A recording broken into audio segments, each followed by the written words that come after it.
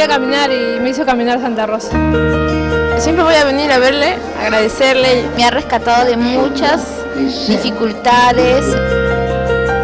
Porque es milagrosa y la quiero mucho. Tan milagrosa que es y tanta devoción que le tienen aquí en Lima. Le pido más que nada paz y que le haya paz en el mundo y que los jóvenes también entren en buen camino, ¿no?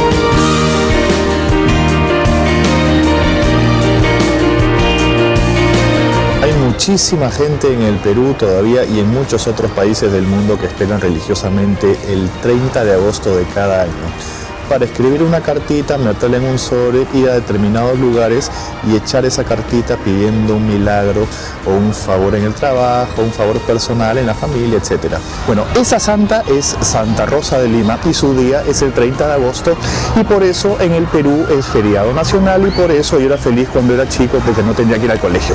Bueno, todos hemos escuchado historias sobre Santa Rosa, que dedicó su vida a Dios, que se casó con Dios, que tenía eh, particular devoción por lo religioso, que se flagelaba, que usaba silicio, que conversaba con los mosquitos, etc.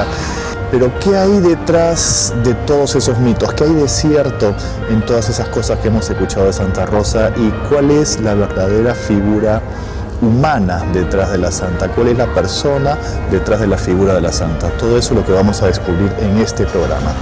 Yo soy Paul Vega y esto es Sucedió en el Perú.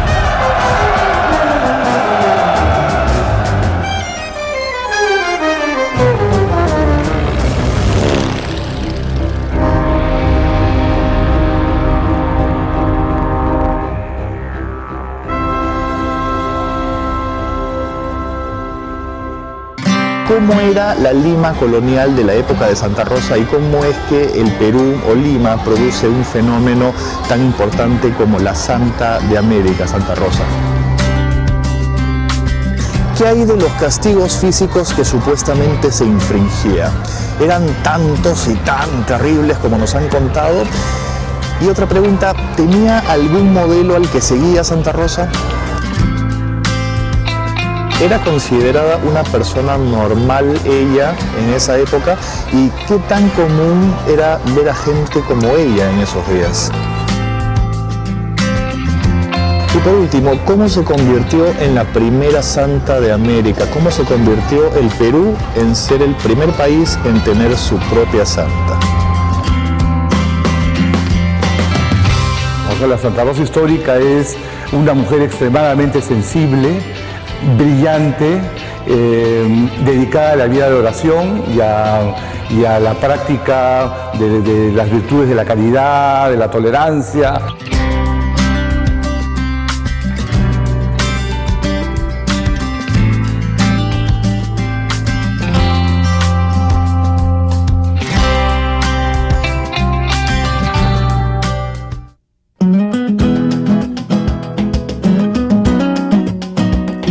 50 años de fundada cuando nació Isabel Flores de Oliva, que más tarde sería coronada como santa con el nombre de Rosa de Lima.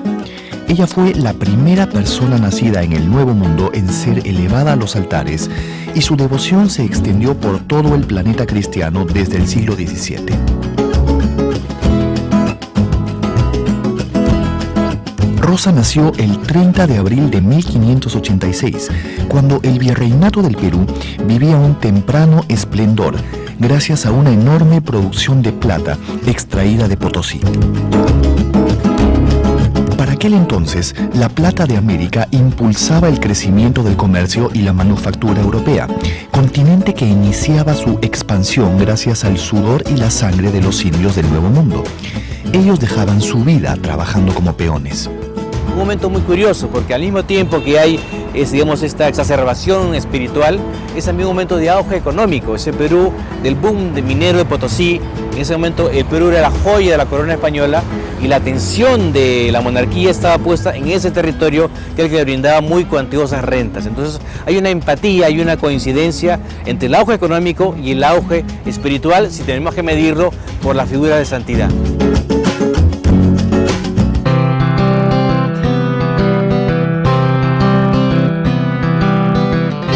El largo gobierno del virrey Marqués de Montesclaros, en los albores del siglo XVII, Lima se enriqueció mucho y se comenzaron a inaugurar muchas obras públicas. Una de ellas fue este puente de piedra que unía la capital con el distrito de San Lázaro, que ahora es el RIMAC.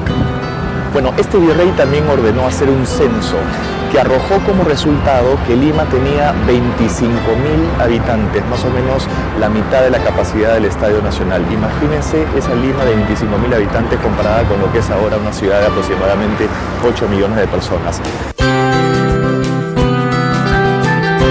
Yo creo que a, los, a las personas que han vivido en el pasado, en este caso a Santa Rosa, que vivió en una Lima muy religiosa del siglo XVII, donde más del 10% de la población utilizaba el hábito religioso, ¿no? Hay que estudiarla en su contexto y con las categorías mentales que ella tenía, para comprenderla, eso hay que, y no para juzgarla, ¿no? Hay que, hay que aprender a pensar con ella y no tanto a pensar sobre ella.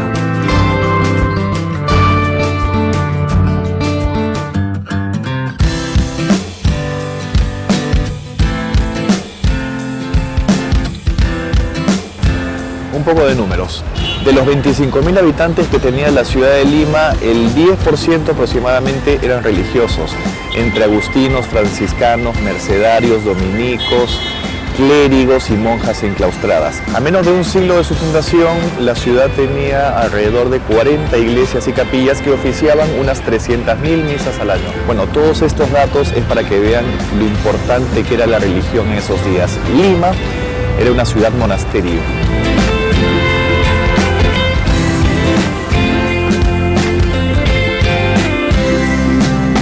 Rosa no estaba sola. Como dice el historiador Ramón Mujica, solo así se explica la insólita proliferación de un ejército de santos y visionarios que por dos o tres generaciones recorrió intoxicado de mística y teología las calles de la ciudad. Los únicos cinco santos que ha tenido el Perú vivieron en esta época. Nunca antes ni nunca después el país produjo santos. Eran momentos en que la corona quería dar a conocer al mundo que su labor evangelizadora en las Américas estaba rindiendo frutos.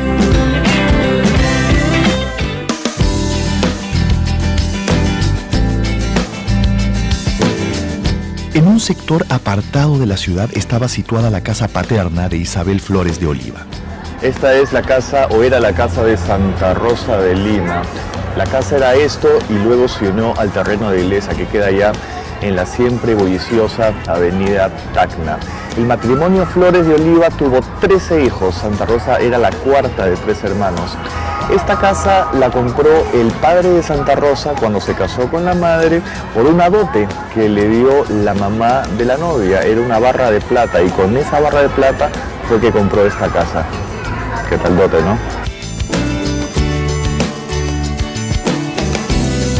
Su padre era Gaspar Flores, un soldado del ejército español, específicamente un modesto arcabucero de la Guardia Virreinal de origen puertorriqueño.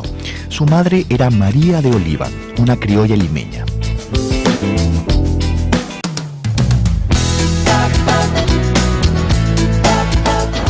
Esta es la iglesia de San Sebastián y aquí bautizaron a Santa Rosa en mayo de 1586 con el nombre de Isabel Flores de Oliva en homenaje a la abuela materna que se llamaba Isabel de Herrera.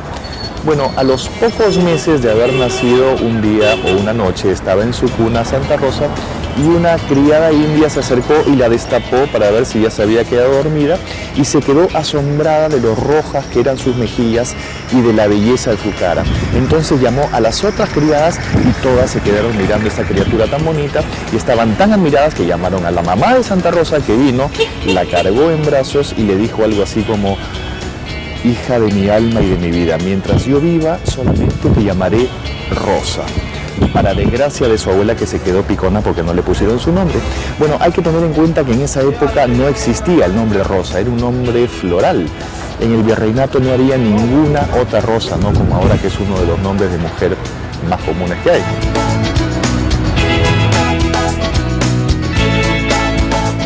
Dicen de que este milagro eh, ya había sido prefigurado en México por la aparición de la Virgen de Guadalupe, que se apareció con un montón de rosas alrededor de ella. Entonces se sugería que la Virgen se, aparecía, se había aparecido en México con las rosas para anunciar el nacimiento de Santa Rosa de Lima.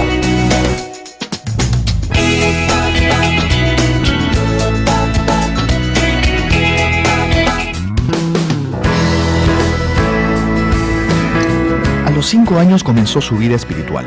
Hizo voto de castidad abominando lo que era vanidad del mundo. A esta misma edad sufrió su primera enfermedad, la tiña. Tenía la cabeza en carne viva y le salían costras. En medio de sus sufrimientos pedía cantando al Señor que le diese más y más dolores y paciencia con ellos. Una posición es verla como una sierva de Dios, que lo fue desde los cinco años en que según su biógrafo confesor, el padre Loaiza, fue desde los cinco años en que ella se sintió ya virgen y en cierta forma destinada a Dios. Su hermano Hernando cuenta que nunca le gustaron las muñecas porque decía que en una muñeca había hablado el malo, es decir, el diablo. Por esos años también empezó a hacer grandes abstinencias. Ayunó muchos días a la semana sin que su madre lo supiera. Sus ayunos eran a pan y agua. A pesar de sus ayunos, su rostro no se demacraba, seguía tan fresco y lozano como siempre, pero su familia estaba intrigadísima por sus actitudes. Los tropiezos con su madre empezaron a surgir, ya que ésta quería siempre arreglarla, ponerle flores en el cabello y hasta se lo llegó a pintar de rubio. Pero Rosa era muy obediente y trataba de no desairarla. Llegó a ser desde muy niña una excelente costurera y con lo que ganaba ayudaba a sus padres y hermanos. Entre su madre y su abuela hubo algunas diferencias sobre la cuestión del nombre. La abuela no quería que le quitasen el nombre de Isabel y la madre que se había de llamar Rosa. Por esto la niña fue donde su confesor a pedirle consejo este le dijo que estaba más obligada a obedecer a su madre que a su abuela y que se llamase Rosa. Salió del confesionario muy consolada y se hincó ante el altar de la Virgen prometiéndole que de ahí en adelante en el nombre de Rosa se añadiría Santa María y se llamaría Rosa de Santa María.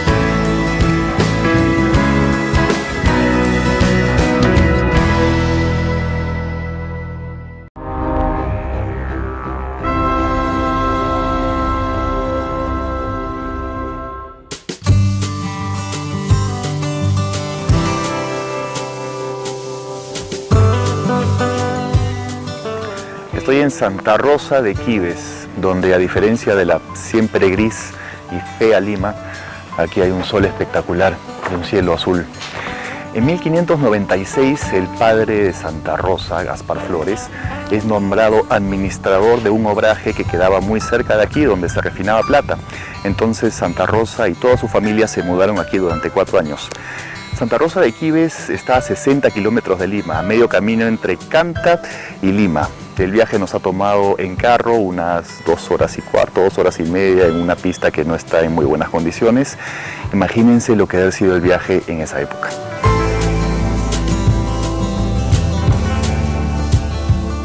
Y ahí ella tiene una experiencia distinta de vida porque cambia su ámbito urbano, criollo, limeño y conoce la población andina, conoce que hay indígenas que trabajan, que trabajan duro y a lo mejor también se identifica con ese sufrimiento, esos padecimientos del trabajo a los cuales han sometido los indígenas.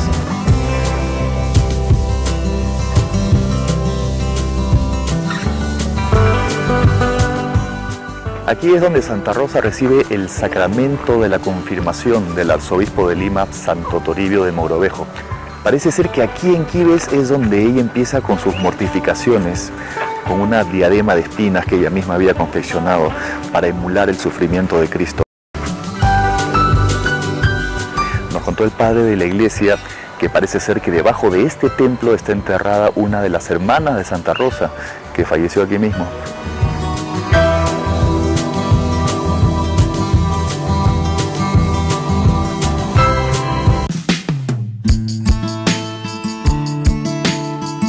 Además de ser una eximia costurera, también era una experta cocinera. A pesar de esto, nunca dejó los ayunos y en su casa todos estaban alarmados por su conducta. Asistía a la iglesia en compañía de su madre o de su hermano Hernando y comulgaba dos veces por semana. Después de ello se hincaba de rodillas y permanecía horas así. Tenía una relación muy especial con su criada Mariana. Más que criada, era su amiga y confidente, y a quien le guardaba sus secretos. Pasados los años, Rosa había cambiado mucho su apariencia. Ya no llevaba el cabello rubio. Habíamos visto que su madre se lo tenía desde muy pequeña, pero un buen día tomó las tijeras y se lo cortó. La madre se molestó y no faltaron los gritos y los castigos.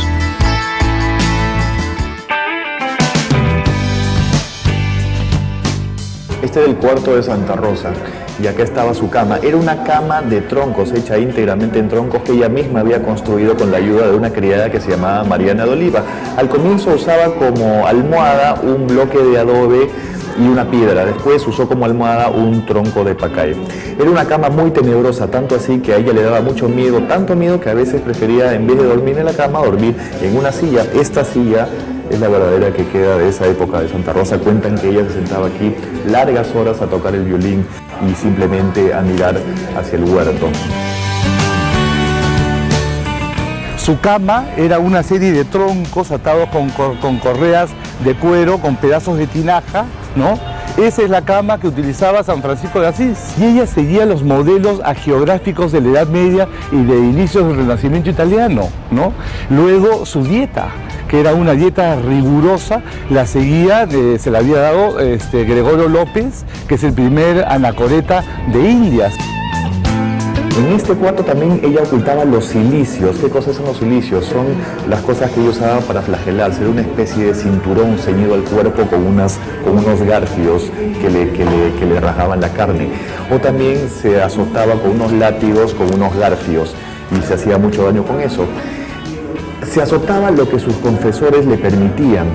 Luego hacía lo que se llamaba las penitencias. Cuando sus confesores vieron que ya empezaba a mermar su salud, le redujeron las penas y la dejaban hacer mucho menos penitencias. Los silicios que ella empleaba eh, delatan cuáles son los santos que ella imitaba y cuáles eran las, las, fuentes intelectuales de las cuales ella se nutría. Luego ella llevaba atado al cinto una cadena con un candado. Eso ella lo toma de San Enrique Susón, que es uno de los grandes místicos alemanes del siglo XIV. Las mujeres de hoy no encuentran conexión con la santa. El tema de los silicios y los castigos la alejan de la mujer contemporánea. La mujer contemporánea es una mujer que para Santa Rosa vive en el mundo de las vanidades y mm, está muy consciente de su aspecto exterior, del mundo de los placeres, lo que quiere más bien es eh, desinhibirse y curiosamente ella encarna lo contrario en el siglo XVII para masculinizarse, ¿no? Porque en realidad todos los silicios y las mortificaciones que ella hacía eh, la acercaban más al modelo original que era Jesucristo. Ella quería vivir la vida y la pasión de Jesucristo, ¿no?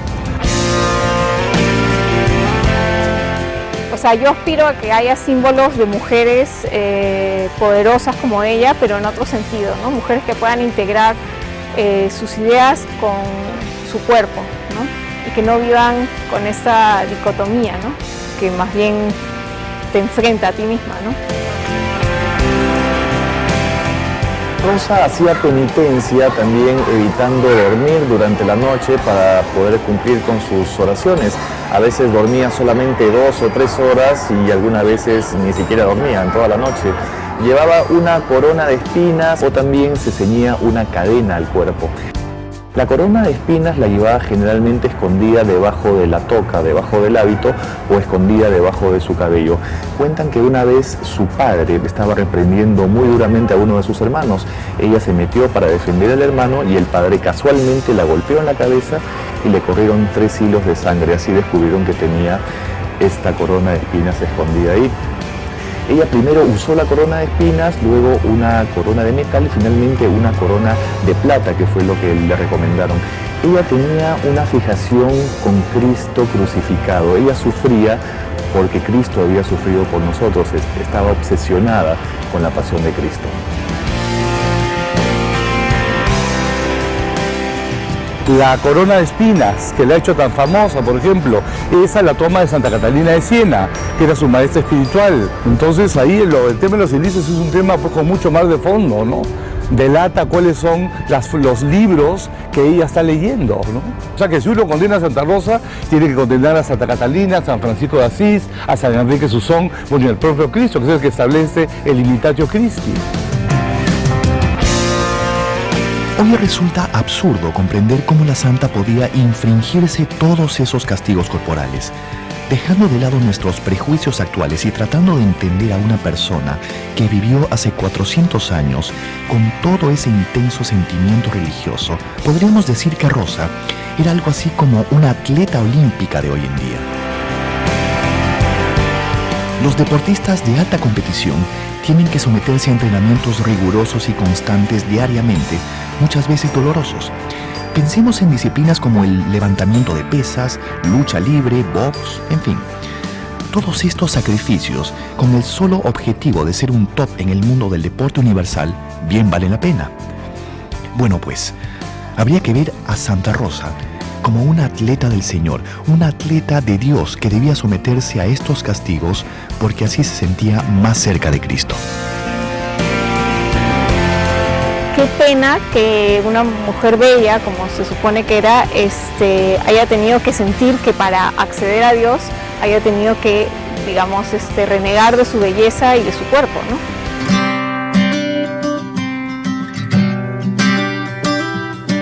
Rosa sobrellevaba el grueso de las obligaciones domésticas porque el bajo salario de su padre no daba para mucho. Puede decirse que con la costura, Rosa sostenía a toda la familia trabajaba con su labor de costura todo el día hasta la medianoche. Era lo que podríamos llamar una costurera de barrio. Así laboró para ellos hasta 1614, año en que las fuerzas le empezaron a flaquear. Adornaba también altares y andas procesionales, vestía imágenes sacras y confeccionaba flores de seda para hacer con ellas ramilletes artificiales. Cocinaba y cuidaba a sus padres ancianos.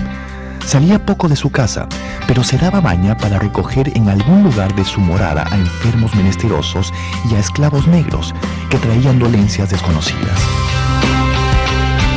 Su madre decía que los curaba con gran caridad, sin extrañar ningún mal olor ni hacerles asco. La dedicación especial por los esclavos negros obedecía a que estos no tenían un hospital propio en aquellos tiempos. Tenía un amor, tenía amor, ¿no? Y amor verdadero, amor a Cristo, amor a Dios, amor al prójimo.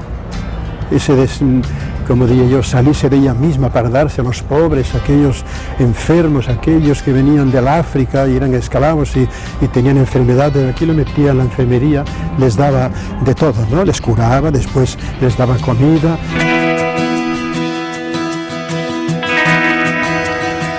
Hastiada de las visitas frívolas que recibía y que no la dejaban orar y encargarse de sus ocupaciones espirituales, Santa Rosa decidió que necesitaba, que quería construir una chocita, una celdita en el huerto de su casa para estar más tranquila y para estar sola y para poder orar tranquila.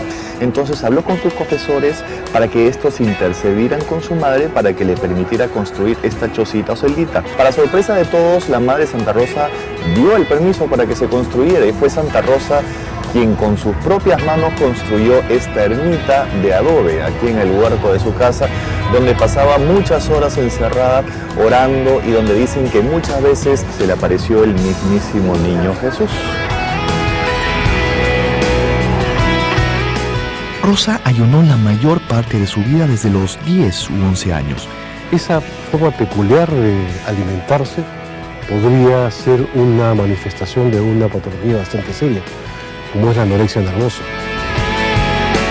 Cuando tenía 15, hizo voto condicional de no comer carne salvo orden de sus médicos y confesores. Los sacrificios y mortificaciones los hacía con conocimiento y anuencia de estos. Ellos le permitían hacerlos y le otorgaban el permiso para proseguir. Las semillas de naranja fueron su gran recurso para distraer y calmar los jugos gástricos. A esta edad también empezó a tener dolores de costado y asma. En medio de ellos siempre pedía cantando al Señor que le diera más dolores y paciencia con ellos.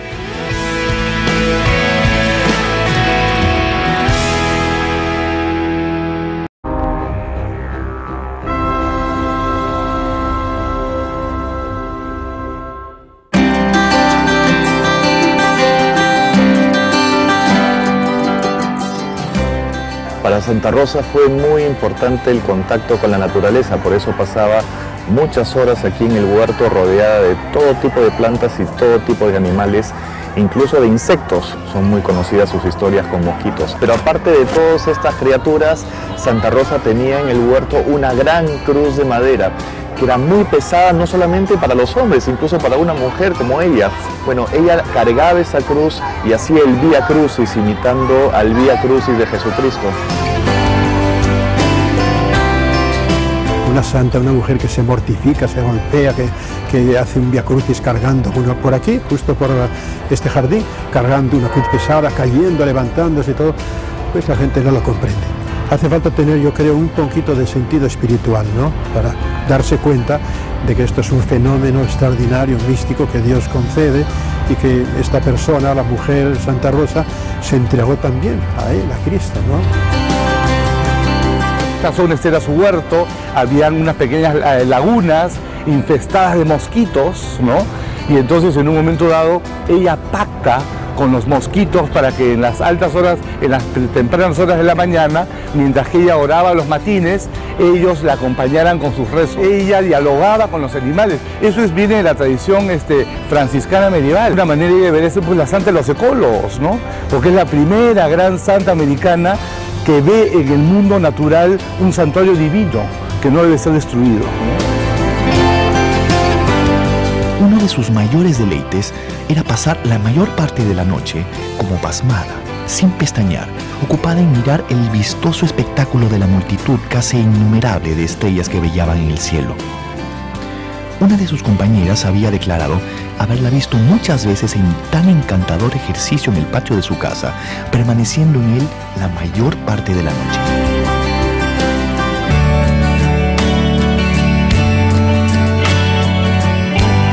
Aquí también había un pozo de donde se sacaba agua en la época de Santa Rosa, pero este no era el pozo original. Parece que el pozo original estaba en realidad a la entrada de la casa, cerca de la ermita. Este lo construyeron después y como les decía, de acá se sacaba agua para el consumo humano. El agua para regadío se sacaba de una sequía que quedaba no muy lejos de acá y hecha por los indígenas varios años antes. No se sabe si Santa Rosa llegó a conocer efectivamente este pozo, si lo vio alguna vez en su vida. Muchas ocasiones de sus múltiples oraciones, el diablo en forma de perro solía aparecérsele para arrebatarle sus lecturas, hacerlas añicos y arrojarlas en algún muladar. El demonio, a quien Rosa le llamaba el sarnoso, se le aparecía en forma de mastín o perro devorador. De todos los animales que existen, ¿por qué Santa Rosa va a visualizar al demonio como un perro? Porque ella está pensando en un hecho concreto de la conquista española.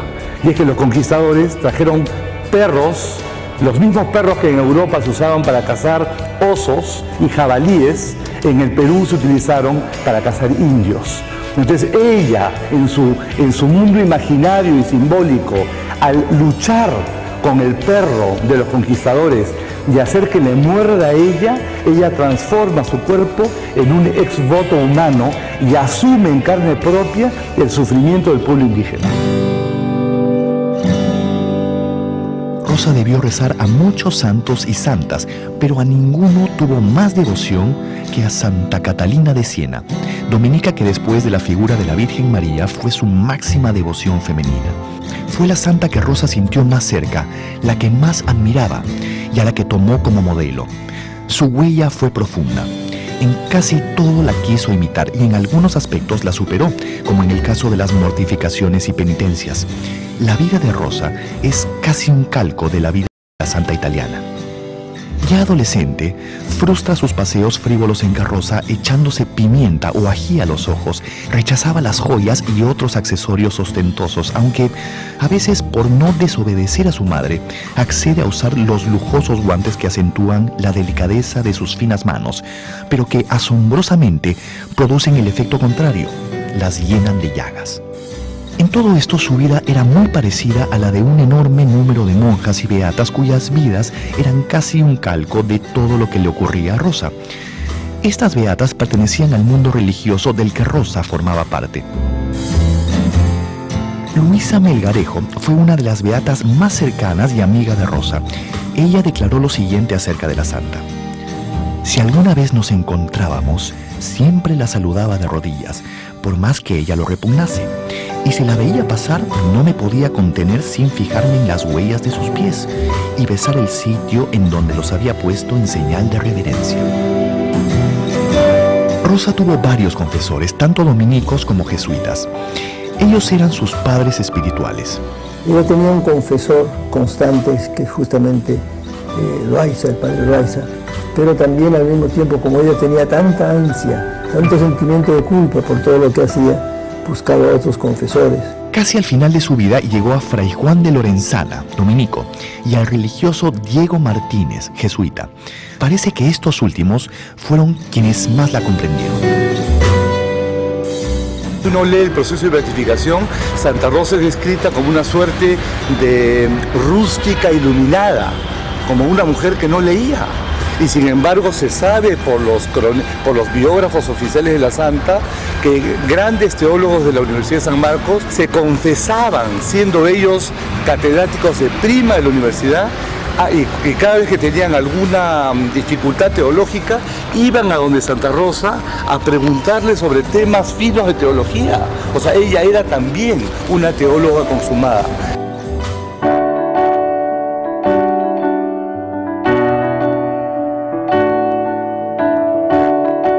El andar cotidiano de Santa Rosa se reducía a unas cuantas calles aquí en el centro de Lima.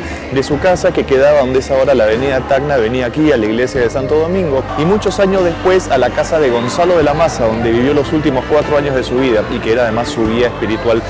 Cuenta su hermano Hernando, que a veces lo acompañaba a misa, que Santa Rosa en el trayecto a veces veía algunas pajillas o algunas ramas en el suelo en forma de cruz. Ella apenas veía esto, los levantaba, los besaba con devoción y los alzaba al cielo para que la cruz de Cristo no estuviera por los suelos. Llegó a confesar que nunca tuvo ningún contacto con algún tipo de regocijo mundano, ni siquiera miraba por la ventana las procesiones generales que se hacían por la calle. Solamente venía a las procesiones que se hacían aquí, en la iglesia de Santo Domingo.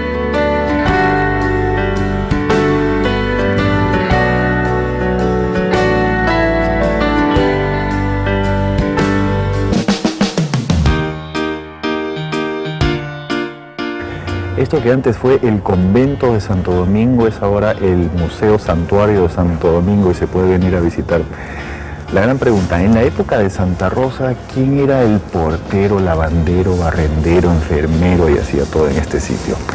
Nada menos que San Martín de Porres. Él fue contemporáneo de Santa Rosa y probablemente se cruzaba en este sitio. Santa Rosa venía siempre a orar aquí. Ahora, según algunas fuentes es difícil que se hayan conocido. Santa Rosa difícilmente entablaba contacto con hombres, solamente con sus compañeras beatas y con sus confesores. Pero según otras fuentes, por ejemplo, el prior del convento dominico de la Magdalena, el Santo Negro en más de una ocasión le sirvió de mensajero a Santa Rosa.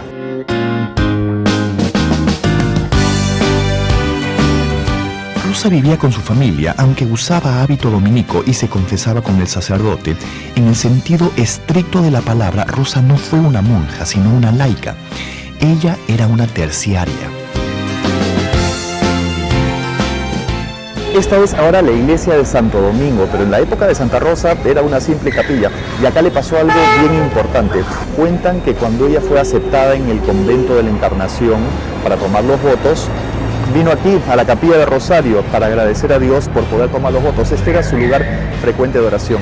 En el momento en que ella se arrodilla y empieza a orar, se quedó inmóvil, se quedó petrificada, entonces no pudo llegar a tomar los votos. De este modo se convirtió en una terciaria. ¿Y qué cosa es una terciaria?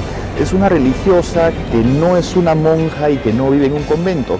De manera que Santa Rosa estuvo ligada a la iglesia, pero no de una manera formal. Según sus biógrafos, antes de usar el hábito dominico, Rosa ya había usado por varios años el hábito franciscano. Según Mojica, este hecho desconocido hasta ahora explica por qué gran cantidad de lienzos coloniales retratan a Rosa con el hábito dominico blanquinegro y con la toca o griñón franciscano de color marrón.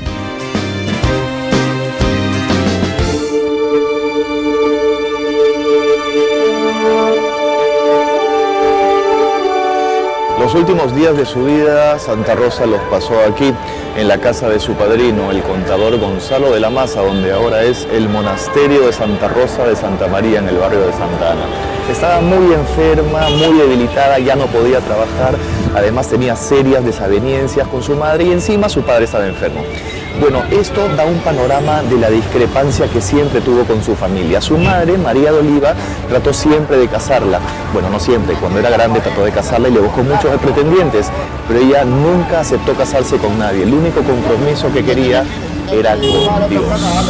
Al final aceptó una invitación de Gonzalo de la Maza, de la familia de la Maza Usategui, y con el permiso de sus padres vino aquí, vino a vivir aquí hasta el último de sus días.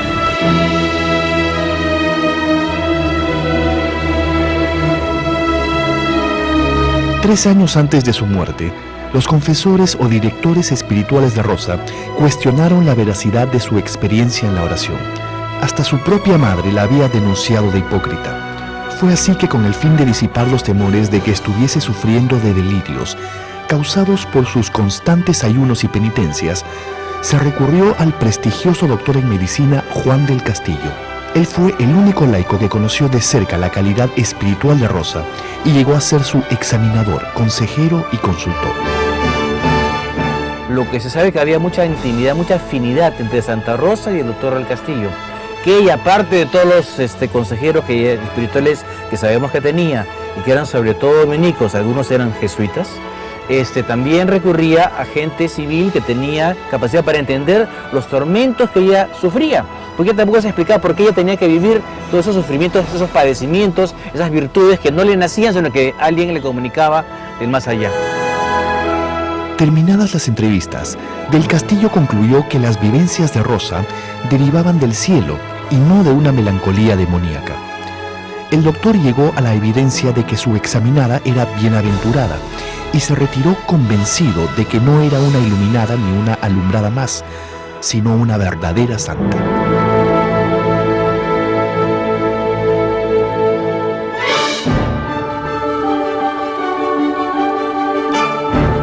El domingo de Ramos del año de su muerte, el niño de la Virgen del Rosario en el altar de esta capilla le dice a Santa Rosa, Rosa de mi corazón, sé mi esposa.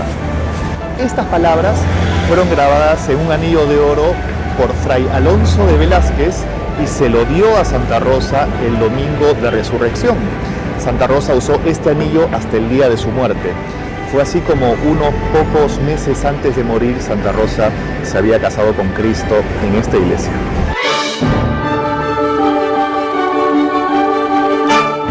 Se casa místicamente con el niño Jesús, que al ella orarle, este cobra vida sobrenatural y le dice, Rosa de mi corazón, sé mi esposa. O sea, la que, el que le habla es la escultura que cobra vida. El día en que el padre Velázquez le puso el anillo en el dedo de Rosa, estuvo la madre de Rosa, ¿no? María de Oliva, estuvo el contador de la masa y estuvo también doña María, la esposa del contador de la masa. Entonces, era un conjunto de personas que simbólicamente pues eh, estaban presenciando esa proximidad de Rosa al Señor, que es reflejo de una entrega total. Y ella se convierte en la primera eh, santa que se desposa con Jesucristo en el nuevo mundo.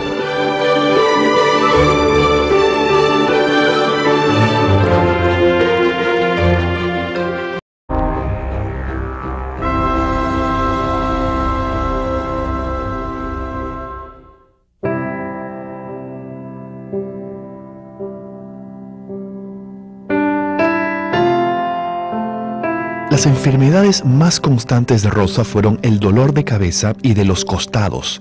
También sufrió de taquicardia y gota. Parece ser que su enfermedad terminal fue aneurisma cerebral. Esta le sobrevino con altas fiebres y una probable tuberculosis pulmonar ya que echaba sangre por la boca. En los últimos días se le escuchó pedir al Altísimo con un crucifijo en la mano, mi Dios, mi Señor, mi Jesús y mis amores, dadme dolores. Pero en algún momento los dolores fueron tan intensos que llegó a pedirle a Dios que le aliviase los dolores para morir. El último milagro que Rosa obró en vida se relaciona con la incapacidad de su madre de aceptar el camino de perfección que su hija se había impuesto. En su lecho de muerte, Rosa transformó el dolor de su madre al verla agonizar en un goce sobrenatural que la obligaba a dar saltos de alegría cuando su hija expira. Finalmente pidió Rosa que viniesen todos los negros y negras esclavos de su casa, hasta los que estaban enfermos. A todos juntos les pidió con gran humildad que la perdonasen si en palabra u obra los había ofendido, y luego les echó su bendición. Entonces se produjo el paro cardíaco. Hubo una brevísima pausa y luego exclamó, Jesús sea conmigo. Y murió. Era el jueves 24 de agosto de 1617. El deceso ocurrió media hora después de la medianoche. En el hecho que falleció fue amortajada por María de Usátegui y sus dos amigas. Le pusieron el hábito de Santo Domingo y de Santa Catalina de Siena, como Rosa lo había pedido. Cuando amaneció el día, toda la ciudad se fue enterando. Su cadáver fue trasladado al convento de los dominicos. A las 4 de la tarde partió el cortejo y en una litera abierta se sacó a la santa de la casa del contador. Toda Lima se abocó para acompañarla en su tránsito a la gloria. Las veredas, balcones y azoteas estuvieron tan llenas de gente que algunos sostienen que fue la concentración humana más grande de toda la época colonial. El gentío era impresionante. La gente se arremolinó sobre el cadáver de Rosa, arranchándole trozos de hábito, flores y todo lo que pudiesen.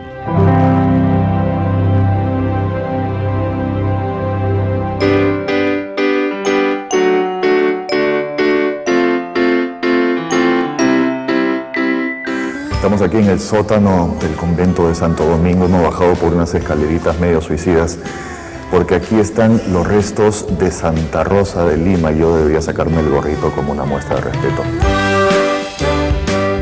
Cuentan que antes de ser sepultado los restos de Santa Rosa, su cuerpo tuvo que ser vestido hasta seis veces. Tal era el fervor de la gente por quedarse con una reliquia de la futura santa.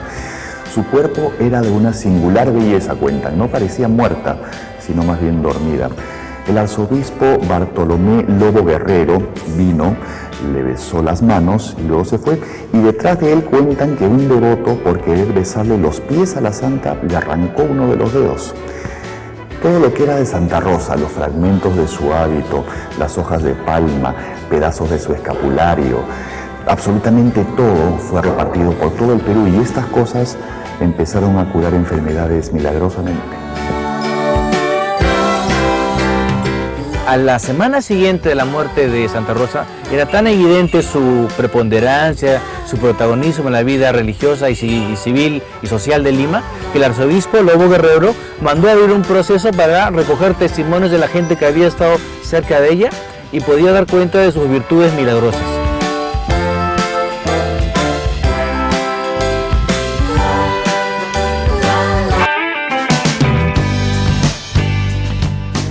Dos años después de su muerte, en 1619, el arzobispo Bartolomé Lobo Guerrero decretó que los restos de Santa Rosa que estaban enterrados en una cripta en el convento fuesen trasladados aquí a la iglesia de Santo Domingo para que pudieran ser venerados públicamente.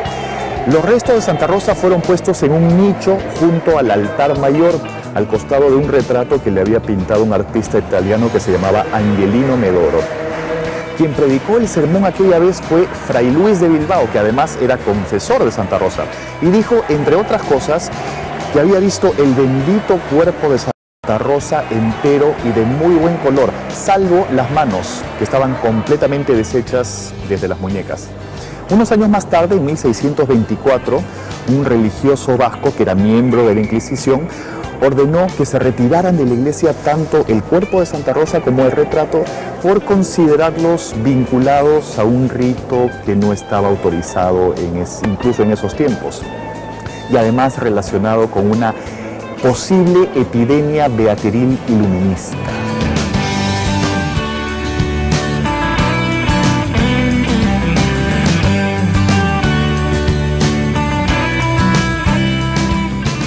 1625, la Inquisición interrogó a un número de beatas alumbradas, entre las cuales estaban las compañeras y discípulas de Rosa. Se encontró que muchas eran culpables de adjudicarse visiones y revelaciones que se debían más a sus lecturas que a sus verdaderas experiencias. Se producía una paradoja. Todas esas beatas declaradas culpables y Rosa declarada santa. En esos años tuvo mucho interés la corona española en que hubiera un santo o una santa criolla que presente los éxitos de su programa de evangelización. Rosa fue beatificada en 1668 por el Papa Clemente IX, quien realizó una ceremonia solemne en la Basílica de San Pedro, en Roma. Luego fue hecha patrona de la ciudad de Lima y de los reinos del Perú, y en 1670 patrona universal y principal de toda la América y dominios de España. Las fiestas de la beatificación fueron grandiosas tanto en Lima como en Roma. En Lima, la piedad y la alegría se dieron de la mano para uno de los más grandes espectáculos de aquella Lima colonial. Finalmente, fue canonizada como caso excepcional y por dispensa papal en 1671, todo un récord de tiempo. Fue en abril de ese año que Clemente X la hizo patrona de América y las Filipinas, canonizándola como Santa Rosa de Lima. En el proceso se le atribuyeron cuatro milagros consistentes en sanaciones espectaculares de enfermos desahuciados por los médicos. Todos los milagros habían ocurrido en Europa, demostrando que se le veneraba en todo sitio. Entonces hay apoyo local del municipio, hay apoyo de la Orden Dominica, hay apoyo de todos los criollos del Perú y de América y de la propia corona española. Esta conjunción de voluntades hace que en tiempo bastante breve, en el tiempo mínimo requerido, porque debían pasar 50 años entre la muerte de la persona y el inicio de su proceso, cuando pasa 51 años ella ya es beatificada, con lo cual ya recibe adoración en los altares y tres años después, en 1671, es canonizada por el Papa Clemente X.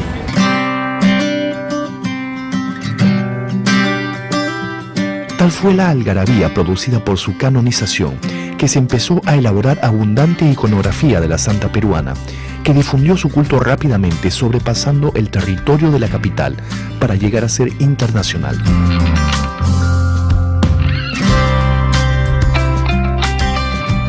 Esta preciosa escultura tallada en finísimo mármol de Carrara fue hecha por el artista maltense Melchor Caja para el Papa Clemente IX. El Papa a su vez se la regaló a la ciudad de Lima y en 1670 la escultura llegó al Callao. Cuenta la historia que las damas chalacas, solteras, casadas, viudas, todas, hicieron una penitencia con velas encendidas hasta la ciudad de Lima para ver la escultura. Y a medio camino entre el Callao y Lima se encontraron con las mulas del virrey que estaban listas para llevarse la escultura. Las damas chalacas agarraron a pedradas a las mulas para que no les quitasen el privilegio de hacer esa penitencia y acompañar la estatua hasta Lima. Era tal el fervor con el que se vivía la religiosidad en esos días. En este sitio ahora además está el cráneo de Santa Rosa, el cráneo de San Martín de Porres y algunas reliquias de San Juan Macías, los tres santos que están enterrados aquí en Santo Domingo.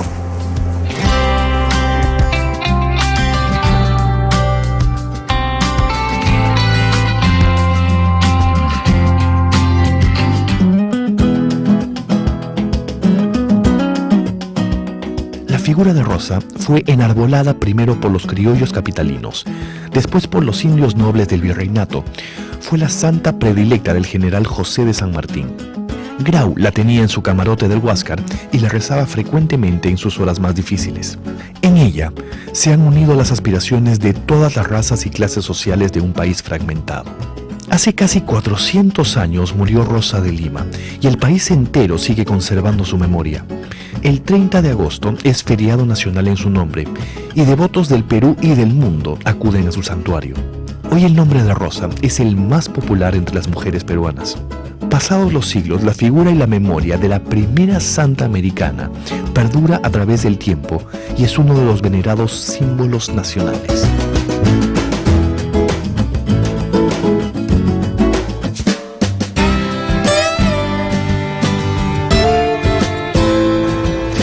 Es muy difícil para nosotros hoy con nuestra visión Perú siglo XXI juzgar a una persona como Santa Rosa que vivió hace 400 años. En esa época se tenía una visión de la religión y de la religiosidad muy distinta a la que se tiene hoy en día.